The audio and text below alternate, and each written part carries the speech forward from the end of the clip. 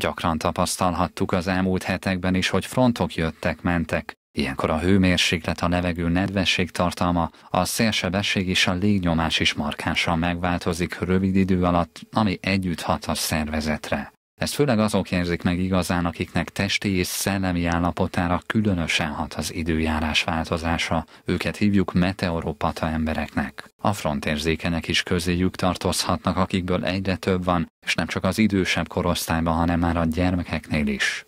A probléma ugyanakkor az életkor előre haladtával válhat egyre súlyosabbá. Az érintetteknél mind a meleg, mind a hideg front érkezése okozhat különféle tüneteket, főként idegrendszeri problémákat, fejfájást, fáradtságot, álmosságot vagy épp aluszékonyságot, kiválthat gyomor- és bélrendszeri, főként az idősebbeknél mozgásszervi, reumatikus és ízületi panaszokat, görcsöket is, hatással lehet emellett a lelki egészségre, de szinte bármelyik szervet befolyásolhatja. Bár a frontérzékenységet szinte lehetetlen megszüntetni, a tünetek jelentkezésére az előrejelzések alapján fel lehet készülni. A reflexek másak, a különféle ingerekre való reakciókészség más, tehát oda kell figyelni, és aki tudja, hogy, hogy majdnem, hogy migrénrohamot vált ki egy hidegfront, hát az akkor maradjon a fenekén, igaz? Akkor ne akkor csináljon olyan programokat, amiből még az ő egészsége is van. Tehát igenis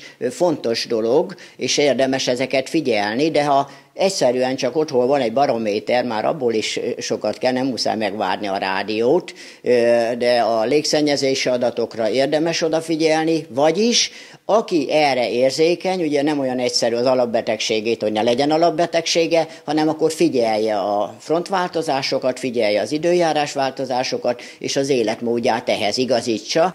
A főorvos úgy látja, az időjárás meglévő problémákat erősít fel, nem önmagában ez okozza a tüneteket. Így azok szenvedhetnek különösen, akiknek valamilyen krónikus alapbetegségük, például szív- vagy légzőszervi panaszuk van. A frontoknak ugyanakkor a terhességre is hatásuk lehet, a szüléseket is beindíthatják. Lévén, hogy ahány frontérzékeny annyiféle tünet, Újhelyi János sem kizárólag egyetlen gyógymódban látja a megoldást.